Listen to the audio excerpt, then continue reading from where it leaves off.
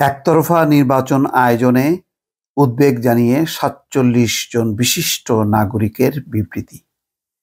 দর্শক, আপনারা জানেন যেই পরিস্থিতির মধ্য দিয়ে নির্বাচন এগুচ্ছে, তাতে সাধারণ মানুষ তো বটেই, সমাজের বিভিন্ন অংশের মানুষ দারুণভাবে উদ্বিগ্ন। কেননা এই নির্বাচনের প্রক্রিয়ায় এখনও পর্যন্ত বাংলাদেশের অন্যতম একটি বৃহৎ রাজনৈতিক দল প্রধান প্রতিদ্বন্দ্বী রাজনৈতিক দল ক্ষমতাসীনদের বিএনপি তারা অংশ নেয়নি, বরং তারা আন্দোলন করছে। সেই সঙ্গে জামাত ইসলাম, সেই সঙ্গে আরও অনেকগুলো রাজনৈতিক দল আন্দোলন করছে। ফলে এই অবস্থায় নির্বাচনের যেই তফসিল ঘোষণা করা হয়েছে, তাতে একতরফা নির্বাচনের দিকে এগুচ্ছে এবং তার পরিণতি বা ফলাফল কি হতে পারে সেই বিষয়ে উদ্বেগ উৎকণ্ঠা সর্বস্তরে। সেই প্রেক্ষিতেই সাতচল্লিশ জন বিশিষ্ট নাগরিক বিবৃতি দিয়েছে। বিবৃতিতে তারা বলেছে যে নির্বাচনী তফসিল ঘোষণা করার মাধ্যমে নির্বাচন কমিশন সরকারের একতরফা নির্বাচন অনুষ্ঠানের সহায়ক শক্তি হিসেবে ভূমিকা রাখছে। এই, এটা মনে করেন সাতচল্লিশ জন বিশিষ্ট নাগরিক। তারা নির্বাচনের উপযোগী পরিস্থিতি সৃষ্টির উদ্যোগ নিতে সরকারের প্রতি আহ্বান জানিয়েছেন। সোমবার গণমাধ্যমে পাঠানো বিবৃতিতে উদ্বেগ জানিয়ে এসব কথা বলেন বিশিষ্টজনরা। বিবৃতিতে বলা হয় সরকার সম্প্রতি একটি একতরফা নির্বাচন অনুষ্ঠানের লক্ষ্যে বিভিন্ন পদক্ষেপ গ্রহণ করছে। এরই অংশ হিসাবে গত আঠাশে অক্টোবর পরবর্তী সময়ে বিএনপি সহ বিরোধী দলের নেতাকর্মীদের বিরুদ্ধে অসংখ্য মামলা করা হচ্ছে। তাদের নির্বিচারে গ্রেপ্তার করা হচ্ছে। এরই মধ্যে বিরোধী দলের সঙ্গে সংলাপের সম্ভাবনা নাকচ করা হয়েছে এবং বিভিন্ন প্রচার মাধ্যমে, মাধ্যম ব্যবহার করে বিরোধী দলের প্রতি বিদ্বেষমূলক বক্তব্য প্রচার করা হচ্ছে। এই পরিস্থিতি বাংলাদেশের জন্য অত্যন্ত উদ্বেগজনক বলে বিবৃতিতে উল্লেখ করা হয়।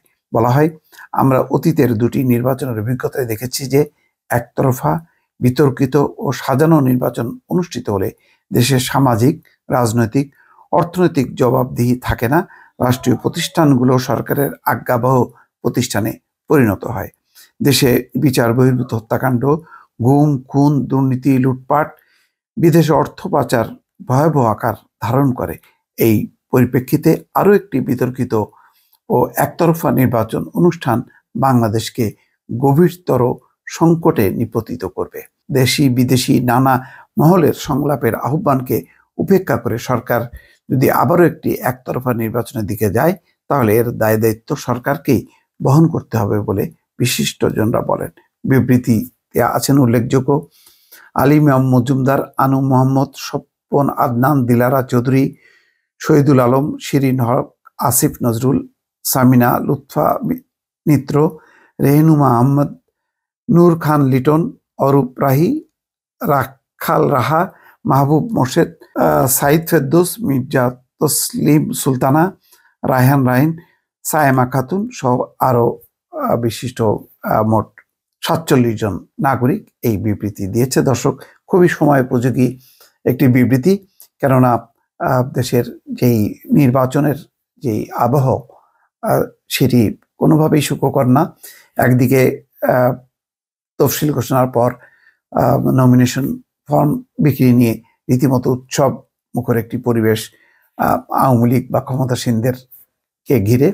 অন্যদিকে, আন্দোলন চলছে এবং আন্দোলনের মাঝে বেশ কিছু যানবাহনে প্রতিনিয়তই অগ্নিসংযোগের ঘটনা ঘটছে। ফলে পরিস্থিতি আস্তে আস্তে যে অবনতির দিকে যাচ্ছে, এটি বলাই বাহুল্য দর্শক।